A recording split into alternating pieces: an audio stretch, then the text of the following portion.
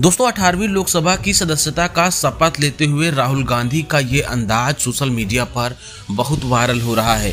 आप देखें तो प्रधानमंत्री नरेंद्र मोदी की अपेक्षा राहुल गांधी जिस तरीके से शपथ लेने के बाद वहाँ मौजूद स्पीकर और उनके बगल खड़े उनके सहायक के साथ साथ पीछे खड़े चपरासी से भी किस तरीके से अभिवादन करते हैं, इसकी तारीफ़ सोशल मीडिया पर जमकर की जा रही है। तस्वीरों में देखें तो राहुल गांधी जैसे ही शपथ पत्र स्पीकर को सौंपते हैं, उसके बाद बगल में खड़े उनके सहायक से हाथ मिलाते हुए दिख रहे हैं।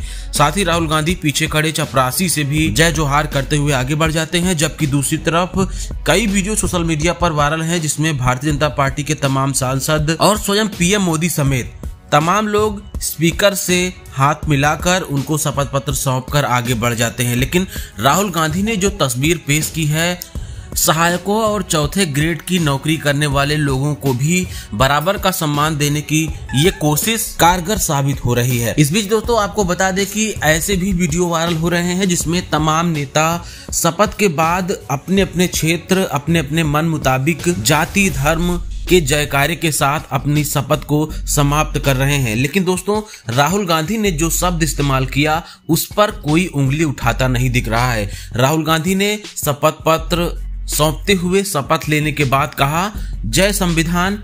जबकि वहीं भारतीय जनता पार्टी के एक नेता ने जय हिंदू राष्ट्र कह दिया, जिस पर संविधान विरोधी होने का सवाल भी सदन में उठने लगा।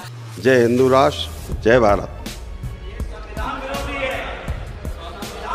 वहीं असदुद्दीन ओवैसी ने भी जय फिलिस्तीन करके एक नया बखेड़ा खड़ा कर दिया है। जय भीम जय मीम जय तेलंगाना जय फलस्तीन तकबीर अल्लाह अकबर। लोग उनकी सदस्यता भंग करने की भी मांग करने लगे हैं जबकि वहीं मेरठ से भाजपा के सांसद अरुण गोबिल ने जय श्री राम कहते हुए अपने शपथ को पूरा किया।